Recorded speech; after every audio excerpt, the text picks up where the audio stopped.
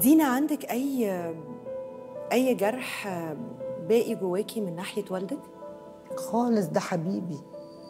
لا لا لا لا لا حتى لو سامحتيه لا أنا كنت بحبه لآخر لحظة أنا ما صدقتش إنه مات. أنا أبويا كان صاحبي.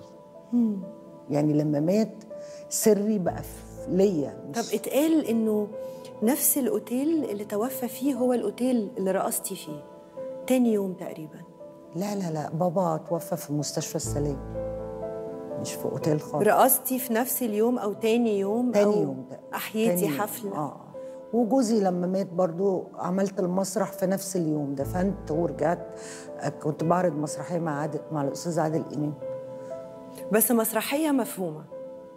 لا وشغل مفهوم كل الشغل مفهوم. طب اشرحي لي ده اشرحي لي الإحساس ده. لا أنا بعرف أفصل. يعني أنا ممكن أبقى متضايقة جدا. أصل أنا لو اعتذرت عن كل شغلي لما أبقى متضايقة يبقى مش هشتغل. لا بس بابايا توفى دي مش لما أبقى معلش. متضايقه يعني وفاة والدي دي لما أبقى معلش ما أنا متضايقه استنيت يوم لحد انت جبروت يا دينا؟ لا مش جبروت انت. جبارة.